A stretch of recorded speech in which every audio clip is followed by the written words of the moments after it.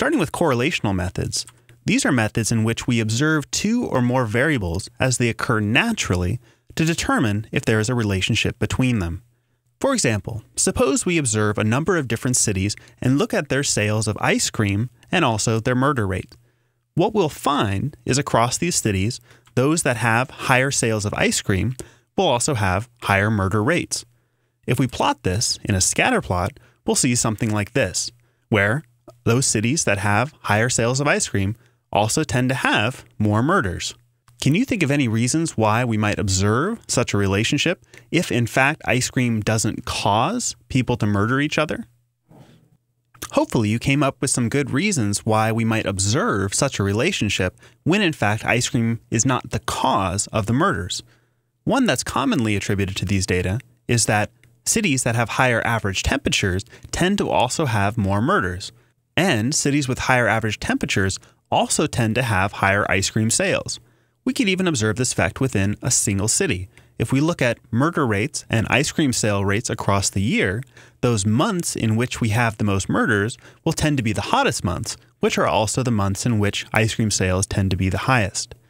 What we've observed here is a spurious correlation, when an observed mathematical relationship between two variables is due to some unseen, unmeasured, or unknown third variable.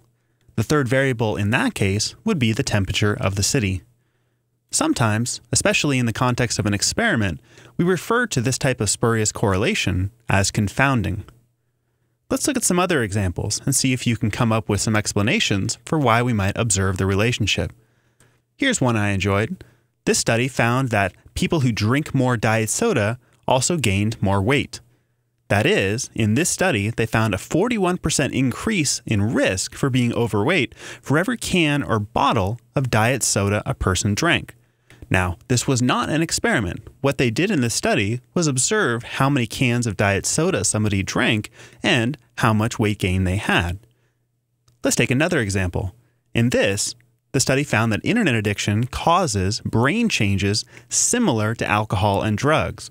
Now, let's first pause and look at the causal implication of this statement that internet addiction is causing some kind of brain change similar to alcohol and drugs. In this case, they simply scanned 17 young adults who were self identified as web addicts. Those scans were compared to 16 individuals who were not addicted. The comparison then was between individuals who fell into two different groups. Can you think of any other things that might distinguish individuals who happen to be internet addicts versus those who are not?